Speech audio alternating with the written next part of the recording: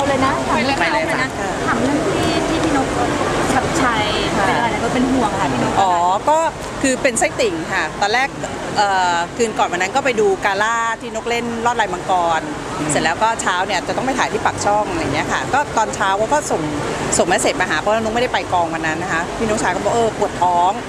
ไปถึงกองแล้วนะคะ รู้สึกปวดท้องเขาก็คุณมีหมอกล้องอยู่ในกองอยู่แล้วนะคะถ่ายละครหมอกล้องก็อ้าวกินยา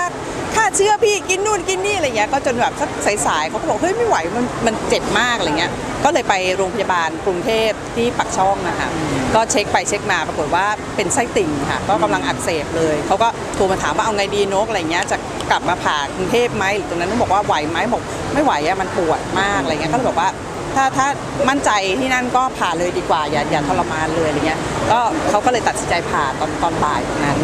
ก็แข็งแรงมากผ่าเสร็จวันรุ่งขึ้นเลยก็คุยอะไรดีวันวันนอนอยู่คืนเดียวเองค่ะนางก็จะกลับบ้านแล้วเลยเพราะกองถ่ายก็ถ่ายอยู่แค่ 2 วันเขาก็กลับบ้านแล้วก็พักพักอยู่แค่4ี่ห้าวันก็ประชุมออกกองเลยก็ไม่เป็นไรจากอะไรคะไม่แน่ใจอะค่ะก็คงอาจจะแบบ อักเสบมานานแล้วหรือหรืออะไรมันก็เลยแบบเพิ่งกำเริบอะไรอย่างเงี้ยค่ะแต่ก็ไม่ได้ร้ายแรงอะไร ไม่ได้ร้ายแรงยังไม่ไม่ไม่ถึงกระแตกไม่ถึงอะไรก็แค่ปวดท้องเตือน ซึ่งซึ่งดีที่แบบ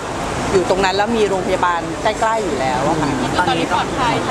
ไปออกกองแล้วค่ะ ไปราชบุรีมาสี่วันแบบว่าน่วมเลยอะไรเงี้ยนางก็จะปลอเมื่อเช้าก็คุยแบบว่าโอ๊ยถ่ายครบหมดแล้ว เก็บหมดสับเป็ดเรียบร้อยอะไรเงี้ยบอกนะคะว่าถ้าสมมติไปช้ากว่านี้มันอาจจะแตกได้ เออก็ ไม่ถึงขนาดนั้น แต่ว่าที่ผ่ามาพอดีส่งลูกสาวไปเพราะวันนั้นพี่นกก็ถ่ายละครค่ะน้องบอกน้องบอกว่าขับรถไปเลยไปหาที่ปักช่องแล้วก็พอตอนเย็นผ่าเสร็จออกมาเขาก็ดูดู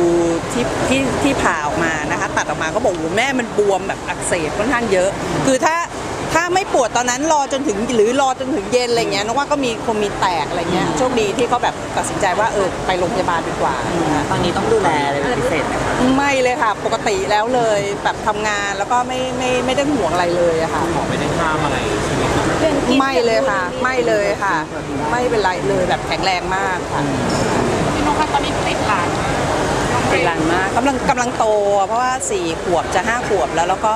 คุยเป็นเรื่องเป็นราว ก็อยู่อนุบาลสองแล้วอะค่ะ แล้วเราก็คงต้องเตรียมเตรียมตัวที่แบบเดี๋ยวจะเอ๊ะจะเรียนต่ออะไรหมายถึงว่าหืมเรียนต่อดูเหมือนโต คือแบบว่าจะเข้าประถมที่ไหนอะไรอย่างเงี้ยค่ะค่ะ คือแพลนอนาคตล่วงหน้าไว้แล้ว ก็ก็คงต้อง plan นะ เพราะว่าแบบหลานแล้วอะไม่ใช่ลูกแล้ว มันก็แบบว่า เออต่อไปจะเป็นยังไงอะไรอย่างเงี้ยค่ะ ก็คงต้อง plan ไว้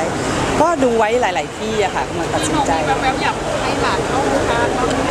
อืมมันคงไม่ไม่ได้ถึงขนาดนั้นนะคะจริงๆแล้วเขาก็อยู่ในวงการอยู่แล้ว เราก็สนุกสนุกเวลาแบบว่างเราก็สอนพี่นกชายชอบสอนเล่นบูเล่นนู่นเล่นนี่อะไรเงี้ยแต่ว่าก็ ไม่ได้ซีเรียสตรงนี้อะค่ะ ก็อยากให้เขาเรียนหนังสือมากมีกว่า แววไหมคะว่าแบบจะได้บ้างตามภาษาเด็กไปเรื่อยๆตอนนี้ก็คงไม่อะค่ะ คงแบบว่าเล่นไป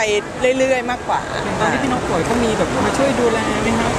ก็เขาก็จะแบบว่าเอ่อไม่ไม่นอนกับปู่เดี๋ยวดิ้นไปโดนปู่อะไรเงี้ยเขาก็จะบอกว่าเดี๋ยวเลเลไม่ดิ้นนะเลเลจะนอนอย่างนี้เลยนะเลจะนอนตัวตรงๆอะไรเงี้ยเขาก็จะแบบกลัวเดี๋ยวไปไปโดนแผลอะไรเงี้ยค่ะก็แบบน่าเอ็นดูอะคุณปู่ชื่นใจไหม่หลานชื่นใจชื่นใจรู้อยู่รู้อยู่อยู่เป็นค่ะขอบคุณนะคะ